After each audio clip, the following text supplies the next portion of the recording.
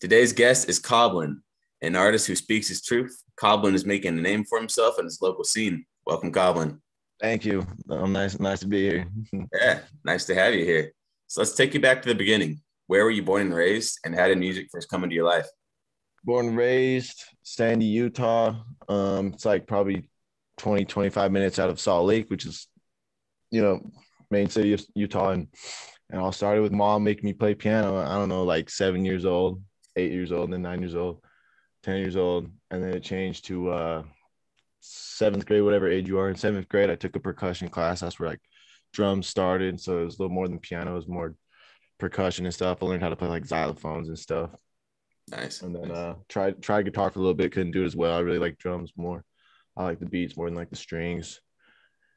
And then um I actually stopped music for a bit because I just thought it was something my mom was trying to do. So I stopped doing piano for a little bit and I went to like skateboarding and stuff. But that that kind of helped a lot because that put me into a culture of skateboarding. And then I was hanging out with different people at skate park and with my friends, different friends.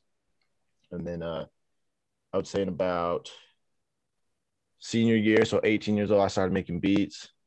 And then uh it was all just a friend thing, you know, SoundCloud was kind of cool to put stuff on SoundCloud that stuff was just for fun though. But then I remember in high school, me and my friends just made some song with all of us, like six of us in it, and uh, it like spread around the school in like a day. I remember it got a thousand plays in a day, and we were flipping out about a thousand plays in a day. And so that was that was that feeling of like song going around kind of started it all. We wanted to keep doing it, so we kept doing it. And then one of those friends that I made a song with kept making beats and stuff, and so he would send me beats for no cost, and then I would started rapping and I just kept posting on the cloud and then went to Spotify, started doing shows. And I guess that's just what I've been doing for the last year and a half, two years. Man, that's awesome. Do you still play piano and drums today, or you kind of just moved on to the whole digital production part? Yeah, I definitely play drums still. I actually forgot to say I was like in a band in high school. We won battle of the bands and everything. So like drums is I would say when people ask, I say drums is my main instrument. But uh piano, I wouldn't say I play piano. Like I can't like read music or nothing. That kind of fell off after I stopped for a few years. But I have like a little MIDI keyboard and stuff that I'll like make beats on and stuff. But I wouldn't say I play piano. I just have a basic knowledge of what notes what. But drums, yeah, I play drums. Nice man. What kind of music did you listen to growing up? Well, middle school, I'm I was just thinking about this yesterday. Middle school, everyone listens. I don't even know what everyone listens to, but I'm, I have an older brother. He's six years older than me, so he had an influence of like uh I would call it screamo music, right? Like my first show was 12 years old. I remember it was the band Escape the Fate. Like I remember getting punched in the face the mosh pit. I think it was the coolest thing ever. I really liked screaming music, and like um, my brother was in a band as well, so I was more into band music more than rap music. And I would say the rap music didn't come until, like I said, when I was skateboarding, I was starting to hang out with other, with other people, and my brother kind of moved out of the house. But like, yeah, when I first started, had my own iPod Nano. It was all uh, screamo music, harder music and not no no really rap at all. Yeah, for the first like five years of having an iPod or something. Wow. Was that the kind of music you drum to? Is the screamo hardcore stuff? Yeah, I would say so, but except the people I'll play drums with are more into like a little grungier, older music, kind of like Nirvana or we, like with Battle of the Bands, we did Nirvana and Metallica. Nice. So like it's still hard, but it wasn't exactly like the screamo double bass type of music. It was just like the older grunge type of music. So I would like I would like to have a band like that, yeah, but I don't really play that because I don't know anyone that plays guitar like that, you know. Yeah, I gotcha. That's cool though, yeah. man. When did you decide to be an artist? Like you decided you want to write your own stuff and be a part of that? When I was 18, it was around that same time with the song spreading throughout the school. I had some people being pretty nice to me about it. They're like, "Man, your your verse was cool your verse was better than the other, or you know, whatever. And I was like, okay. And so the one friend, his name is Slam, he would make some beats and then we would just go in his room. He had a little mic like this, probably quite not as nice, but we just kind of do it, make it. It was super fun. I liked having like my own voice on my iPod, on my uh on my phone to listen to, and I could send it to people and they would like it. I remember I like hid it from my parents for a while because I didn't want them to know I was a rapper and stuff. But there was eventually a show that I did like with some friends. We got invited to do a show and that was probably where it actually happened because at, at the show a bunch of high school people that i knew were in front of me but like they were like looking up at the stage and i was like doing a show to them so i was like this is this is something else i'm trying to do this and so then i just kept looking for shows and now the shows are looking for me that's legit yeah that's how it started though i think that's awesome So in the beginning, um, how was your recording process like? Did you record yourself? Did you go to a studio? Did you work with anyone? Yeah, we would do some bedroom recording. We would do some bedroom recording. We didn't know jack, right? Like we were just didn't know about like compressors or reverb. We just seriously turn the mic on, put it in. Sometimes you listen to it back in the car and like you can't even hear your voice. Nothing about mastering, but eventually I bought my own laptop because I became determined to kind of just be able to do it myself because I learned what the price was for studios and I thought that was going to hold me back from making stuff. And I wanted to start making beats, so I downloaded FL Studio and then um, I got FL Studio to just record myself with no extra effects, and then I was going to send it to a engineering friend and he can do his magic on it. But uh, after like a year and a half, I started to decide I liked how I was mixing them. So I actually usually mix myself my stuff myself. Um, I'll go to studios, you know, I'll pay a good amount of money to go to studios with like other people. Like there's a friend I have named Benjamin Major from Salt Lake, and we'll go into studios and we'll really like be there for like three hours and we'll let the engineer do some really good stuff. And it's definitely better than the one I can do. But I'm pretty determined on like um, thinking my sound comes from what I can do with my mixing and mastering. So I've been trying to learn it for like two years. That's still kind of what I'm doing. Like I said, I just go to studios with collabs because I understand other people want the really professional sound. Yeah, that's awesome. Are you, did you say you're involved in the beat making process at all? is it more of just recording your voice and getting that part set up? Definitely way more involved in the voice because I really like writing and in high school and stuff, I took like writing classes. Like I really like poetry and I liked reading books, so I'm really into like words and stuff. But I, I, I make beats, yeah, not as good as some other people because I focus more on the, the voice part of it. But I can make a beat or two, and sometimes I'll sell them, make a little bit of money off them, or just help other people get some like fresher sounds. Cause I don't really make the typical YouTube beat, if you know what I'm saying. But like, yeah, I, I make beats. I got That's into awesome. it about a year and a half, maybe two years ago. Yeah. That's awesome. So, how would you say um, it's been trying to improve your production? Has it been a challenge for you, a hard thing, or does it kind of just come easy to you, like a natural ear for it? It's it's it's like different every day, I guess. Like there has to be a mood for me to make uh, beats, but like with my drum experience, it's been easy, and like a little bit of piano knowledge has been easy. But then other days, like I'm trying to copy some sound that I heard. I'm like, I want to make a beat like this, so I try to make a beat, and it just don't come out right and I get all frustrated and I just like quit it for the day and like that I hate that. But like sometimes I'll make something just super dope. It's usually when I don't even think about it, I'll just make something, put a nice sample in it and keep it real simple, which is drums. And uh it turns out fine, I can sell it or I can just use it for myself. Sometimes I'll just make like a lo-fi beat that's not even made to have lyrics on it. Like I just make a beat. It's a nice little instrumental jam, probably like two minutes long. You can just run it back in your car or something those are my favorite ones to make too because i'm not trying to overthink it like oh would vocal sound good on this? or like would someone else sound good on this? Is this worth money if i just make like a little lo-fi beat to just listen to about a minute and a half to two minutes of it that's an easy one. That's the one that makes me make my best. That's it. So you mentioned you work with a, a, guy named benjamin major is that correct? When did you guys yeah. meet and like do you have a full team you work with now or kind of what is that dynamic? Me and ben me and let's see when did we meet? Uh we met it we probably just met at a show and then he liked my style. I liked his style. Um, we both are similar. We both got like tattoos on our arms, and we just kind of keep it. Light. I don't know. We don't. We kind of talk about similar things on our rap. But yeah, we met at a show. He liked it, and then we met. He came over to my apartment like a year and a half ago, and I had like the like cheapest mic, but he was so cool. He didn't care. He's he's a few years ahead of me. He's like, um, I'm 21. He's 24. So like he's a few years ahead of me. And I thought it was super cool of him to come over, but he did it. Came over, made some song. He let me master it. It was totally trash. Like I listen to it sometimes. I'm like, wow.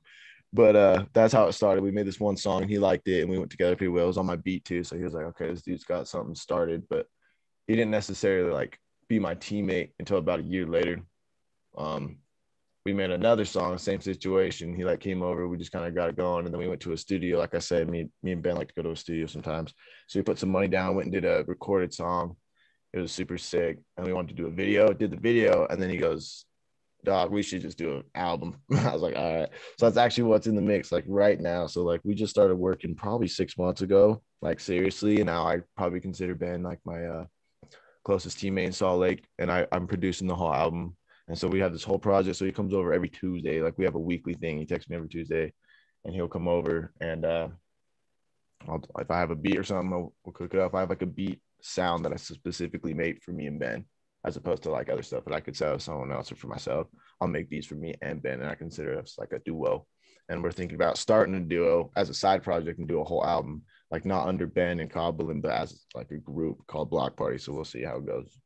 That'd be sick. Yeah. So you mentioned that you um you paid that you forked out the money to go to a studio and it came out, you know, you like the results. Was it worth it for you to go to the studio and pay out the you know professional money to get that, or do you kind of still prefer to go back to your own thing and just do it yourself? That's a really good question because by myself, sometimes like if I was to make my own music, like if I'm in the studio and I'll hear, I'll, he kind of like will mix it in front of you, like you can hear what he's doing, and I want to like speak out and be like do this or do this, but then I kind of let him do it because we're paying him to do his thing, and when it comes back, it's super good. Like he's got he's got the science behind it. You know, he knows like the numbers he's looking for. Whereas I'm I didn't do schooling. I've just been doing off straight experience. So like I definitely have like my own sound that I like, but when it comes to like making a crisp song that you can put out and have it be like timeless, it's definitely better to go to a studio and put the money down. And even just the experience of going to a studio is always worth it. Like me, it's the way less stressed than like trying to figure out how loud this verse should be and then the underlayer and then like the ad libs and how like the snare should sound, like all that stuff. Just leave it to him. You pay him the money, he does his thing. That's literally his job. That's what he wants to do. And then me and Ben just like he's got couches, you know, you hang out in the studio. There's like a dog. Like it's fun to go to the studio and let him do all the hard work and literally all you do is go in that booth and just like um spit it out like five six times get the best one and then you're done so it's it's worth it to do the money but i think um, because i've been doing music my whole life i always have liked to write music as well so i think that's why i like to do it myself because i like to just take control of it when other people might not have that same feeling or it's like too stressful to look at the screen and see all those knobs they just pay someone else to do it so i get it but i like to do it myself better yeah, sure. that's interesting. Yeah, another thing about a studio, I guess, is um beyond the product you get, you also get to like work the professional and see how they do it. So I think it's good to even just go once, like talk with somebody, get their opinion, see what their workflow Absolutely. is, and then you know, kind of get that gauge. Mm-hmm. I agree. So what about live? Yeah, sorry, man. What about live music? Have you played live as your own solo project for a while, or how's that been? Yeah, yeah. So I would do with friends for a little bit as it was starting out. It was just easier to get your name out there with friends, and when everyone's helping promote the same thing, obviously it just gets around easier. But eventually, uh, I started doing it myself. Y'all starting to get asked to do it myself, or I knew people that I could ask to do a show myself. And at first, it was like a lot slower because there's not as much promotion about it, and like everything's different. But I love it, man. It's so fun to just be up there because then you don't have to share the stage, I guess. Like I don't have to share the stage or share the set list. I just before the show, I choose exactly what songs I want, and then I go on there and I just go crazy. Everyone's looking at me. You know, I like the attention. I like going up there and you just get to run it. Um, usually my like the DJ behind me that runs the tracks is like my friend. It's like it's always fun to be up there with like one of my homies and we're just doing our thing. Get like 30 minutes to yourself where everyone's just kind of going crazy. It's so fun. I love performing. It's been a while though because of all the yeah world yeah. issues, you know. But like it's I think it's coming back soon, and there's a show in Salt Lake soon. I think it's happening. I'm like excited. I'm like all right because I've been me and Ben, like I said, me and Ben have just been going going for the last six months, and then me I've been going since it started still. So I'm ready to like it's like a new era of stuff for performing. It's gonna be crazy. That's awesome, man. Yeah. You have a favorite show you've played so far? Uh, yeah. There was a really cool one. Um, there was one that someone in Salt Lake put on. It had like a whole bunch of. It was like over ten artists. Like it was more of like a. I don't want to say festival, but lack of better word, like it was just a bunch of artists that all had like twenty to yeah twenty minute sets. He, this guy ordered a food truck outside, so it, was, it made people kind of come. Um, the crowd was just nice and big. They were a good crowd. They were ready to jump around. They were ready to, yeah, mosh a little bit. Some new faces I'd never seen. Because sometimes when you perform, and you're just posting on your Instagram for, you kind of just see your same faces or it's your homies that are coming to support you again, which is cool and everything. I love them, but you want to see some new faces sometimes. So this show was sick because of like 12 artists on the show. I saw like a whole bunch of new faces that had never heard of me.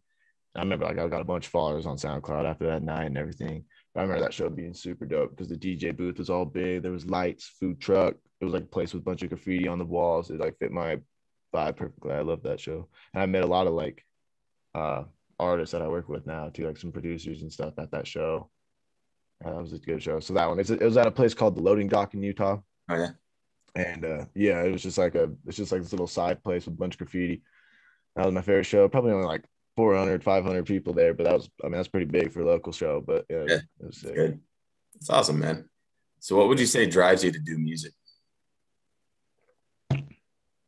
I don't know. Honestly, sometimes I'd be at my uh, nine to five, dude, and I'm like, I cannot do this all day, and so like it makes me want to go back home, crack open the laptop, and just do some. Like I, you know, I'll be down. I've been lately talking to someone about starting like a band so I can play drums again, because I don't have drums here at my apartment. Obviously, you can't really have drums in an apartment building. But like, I just don't want to do something nine to five every day, work for someone else. I really want to have something creative going on for the rest of my life. I mean, I draw a little bit too, so sometimes I'll just take a break and let the music chill because I can definitely stress myself out with that stuff, you know. And then I'll just I have like an iPad, I'll draw on that a little bit, but then it's all kind of surrounded around like hip hop.